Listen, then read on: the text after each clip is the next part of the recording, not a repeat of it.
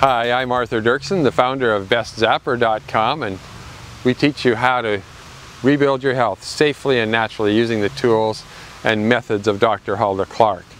It's been now two years since Dr. Clark passed away in September 3rd, 2009, and I want to remind you of a message that she had clearly written in different places in her books, but somehow people forget. And that message was, don't let the doctors take any parts out of your body that you might want later in life. Um, here's a couple of examples that just in the last week or so we've heard about.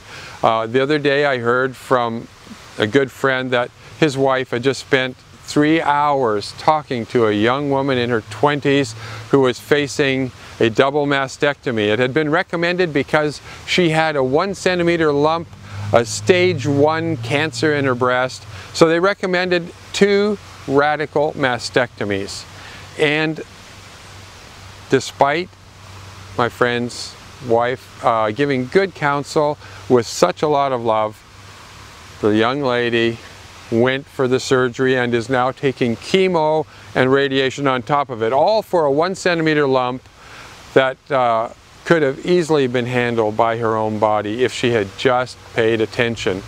Another young friend of ours, a 28 year old gal named Lisa, had been struggling with Crohn's disease for many years and finally I found out uh, her dad said that, that she just had a colonectomy which left her with a permanent colostomy.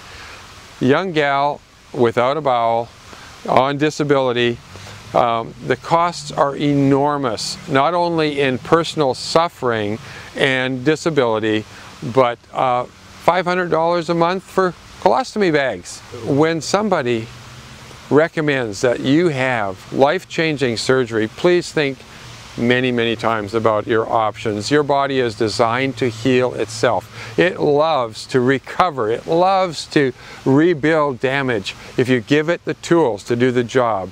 And of course, the wellness system is just one of those. You can do good nutrition, exercise, just so many, uh, you know, getting rid of the toxins in your home, so many other things you can do that don't cost a lot that will transform your life. So please consider your options and do all you can naturally. Thanks for watching. I'm Arthur Doerksen. God bless you.